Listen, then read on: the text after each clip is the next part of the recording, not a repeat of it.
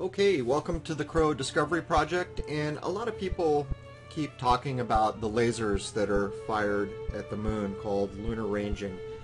Um, supposedly the Apollo astronauts, I think on three missions maybe, don't quote me on that, left reflectors behind, we are told. And I'd kind of like to address that. Um, some years ago I was present at one of these lunar ranging things where they shoot the green laser and what I saw was this. You see this very bright laser go off towards the moon, and I think it's about two or two and a half seconds later, a computer beeps and says, yep, you did it.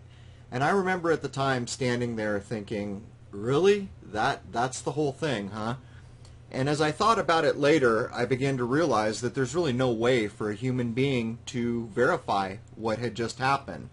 And by the way, you're looking at kind of a little schematic picture here of one of the, I believe, three that were supposedly put up there. And I believe the Russians supposedly uh, put some of these things up with uh, robots, we are told. Um, at any rate, I, when I was looking into this, um, the more I read about it, the more skeptical I became. First of all, you've got to realize we're being told that a laser is being shot nearly a quarter of a million miles, hitting something roughly this size. I mean, what are we looking at? Less than a square meter here. Um, this is one of the, the three. I don't know which one. I think it's Apollo 11, this one. Um, when you consider what you're being told, what you have to kind of do is decide. Are you going to trust what you're being told from some source, or are you logically going to challenge it and think about what you're being told? First off, as you can see in this image, we're told there's dust all over the moon. And at the time the, the astronauts were there, they talked about micrometeors and all these other dangers. But I mean, how long have these things been sitting here? What is it, 50 plus years or something?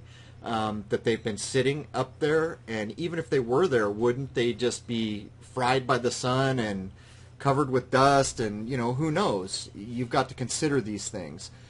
But when you really begin to think about what you're being told, and then you look up what they are presenting with you as what is actually happening, what they are claiming is that they are taking a laser, shooting it nearly quarter of a million miles. It is slightly diffracted through our atmosphere, so aiming at anything the size of the thing we just looked at, I mean, it starts to boggle the mind. But of the billions or trillions or gazillions of photons that leave with that laser, we are told, and there are differing sources, that they collect one photon on the return. And by the way, they know that one photon that they collect is the correct photon because it is so monochromatic. Um, and again, a computer beeps. There is absolutely no way for a human being ever to verify this. And it harkened back to when I saw the kind of Mythbusters thing when they went out and shilled. I think they actually said three or more photons come back. But uh, watching that episode way back then, uh, it just, if you weren't skeptical before you saw that, um, I don't know what it would take to make someone skeptical. But if you consider shooting a laser a quarter of a million miles, now there are people around right now doing laser tests, searching for curvature of Earth and other things. And while I haven't really kept on, up on it to, to any degree, I believe someone acquired a, uh, I hope I don't get this wrong, maybe a 50 mile laser. And they shot it just a few miles and found that the laser had widened out to, you know, 6, 10, or 12 feet, I don't know what, but it had widened out so much that even that powerful laser they had bought uh, became a problem to complete the test.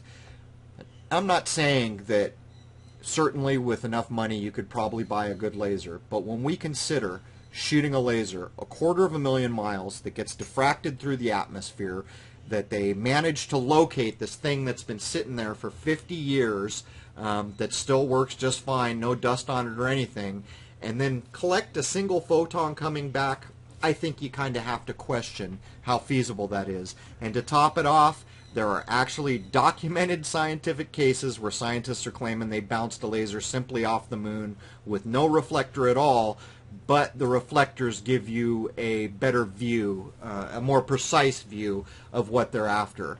So I would just point out that if anyone is really into this laser thing, go go find out what observatory is doing it and go check it out. And then critically think about what you're being presented with. But anyhow, there it is. Cheers.